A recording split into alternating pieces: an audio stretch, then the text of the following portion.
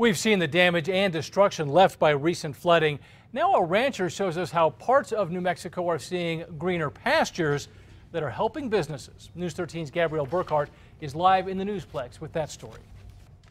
Dean, just a few months ago, we showed you how the devastating drought was hurting local ranchers and farmers, but things are looking up.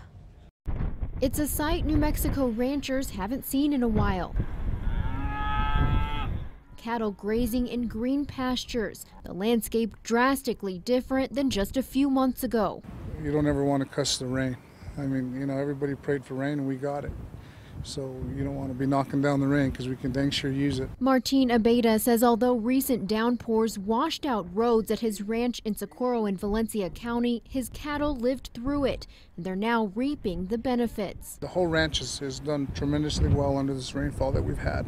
Things are really looking up for us as far as our our feed here. We've had to supplement all the way up until July.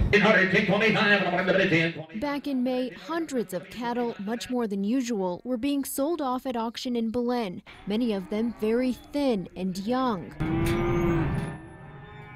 The effects of drought led to higher feed prices, forcing cattle ranchers to sell off herds early and take a profit cut there was kind of an overflow of the market there for a little bit because everybody had nowhere to go with their cows. Abeda says recent rainfall brought roughly nine inches to the area. He says some of his cattle have actually fattened up and healthier cows are better for business. Right now with with everybody selling, we got rain, that's going to bring the cattle market up.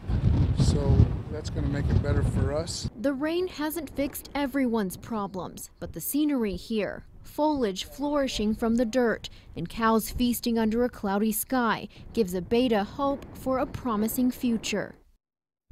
Abeda says he does feel for those ranchers who had to sell off their cattle since it may be more difficult at this point to restock their herds. Back to you. Gabrielle, thank you. That area near Belen received even more rain last night.